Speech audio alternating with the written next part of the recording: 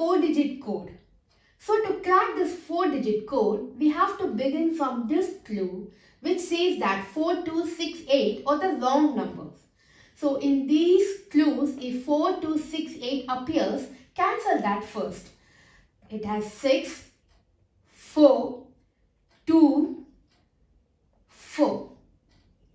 After cancelling these digits which are wrong, let's move on to this clue which says that two digits are correct. So they are 5 and 7. And they are wrongly placed. So let's place 5 and 7 later. Now let's move on to this clue. Here one digit is correct and that is 5 which we have identified before. So 5 is the correct digit. One digit is correct which is 5 as it is wrongly placed. Let's move on and before that here the remaining two digits.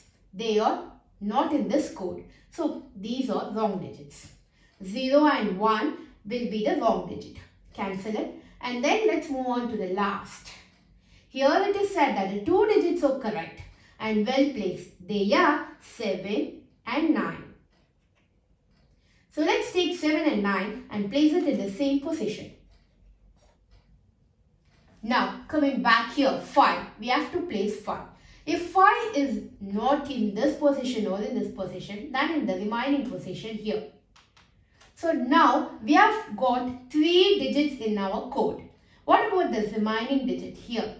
So as it is said that all the 4 digits are different.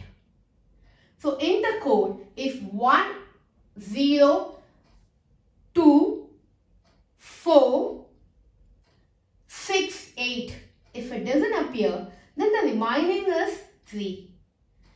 So, the remaining position has to be 3.